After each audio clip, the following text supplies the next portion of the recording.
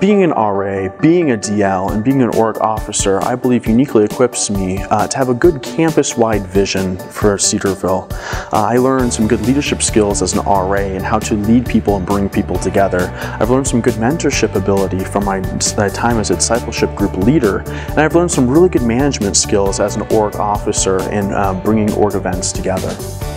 Some of the leadership experiences I've had on campus include being the women's ministry leader for my class for two years, so freshman and sophomore year. I'm also a D group leader this year, so that's been a lot of fun being able to invest in my girls and grow alongside of them. And I'm also this year on Leadership Council, um, which is a council under the leadership director on SGA.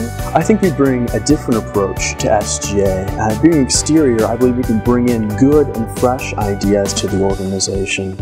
Um, I'm a very people-oriented person, and I believe that the position in SGA should be people-oriented.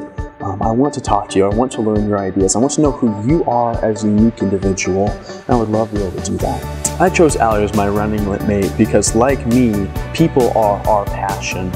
Uh, we have the same vision for SGA, which is incredible, uh, but I'm a little more vision oriented, more big picture, and she's more details oriented. It manifests itself well in a meeting, uh, you'll find Allie consistently writing things down on a whiteboard and just hashing out ideas uh, while I'm sitting down discussing them with the group. One of the things that JT and I really want to emphasize um, for our leadership style is that we want to be approachable leaders.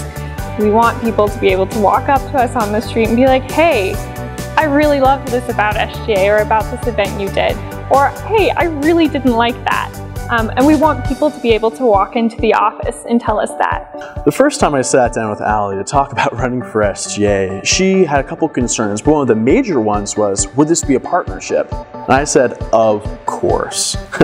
I think I went to the point and said, Allie, if it ever becomes anything but, I want you to throw a pencil case at me.